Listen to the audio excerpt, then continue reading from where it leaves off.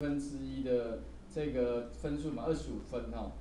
好，那再来出题，这一次我猜三好了哈，听说猜三成绩会最高哈。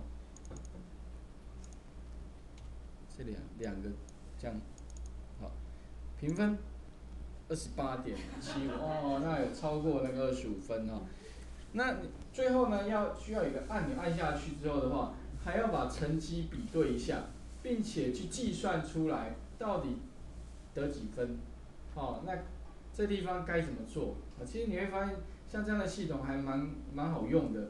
以后如果你家里有小朋友啊，你就去网络上抓题库，抓下来之后的话，你哎过来过来过来，啊，书书念完了没有？啊，念完了吗？来试试看，哦，就让他作答，作答完之后的话，你就按一个评分，就知道他到底有没有做完。那其实各科都可以哦。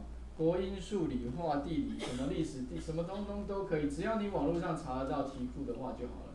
那其实像那个像各科好像哦，应该都拿得到的。像学校里面，如果你有有认识学校老师，都出版社都会给那个所谓的光碟，而且题库光碟都非常完整。那个题库光碟里面的那个内那个那个题目都可以绘出成像这样子。啊，那如果说有这东西的话呢？你家有小朋友就不用补习啦，每天跟他讲说，哎，赶快看书，我等一下就这个范围，好出一个题目给你，你就马上做做看，哦，没有没有九十分的话呢，一分打一下，哦，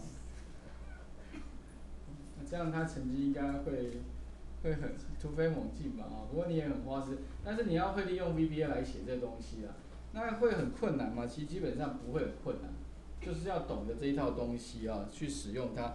那首先的话，我想你们先试着，第一件事情非常简单，IND，把这个地方呢输入一个 IND 之后的话呢，再贴过来，选择性贴上，好，贴上这边。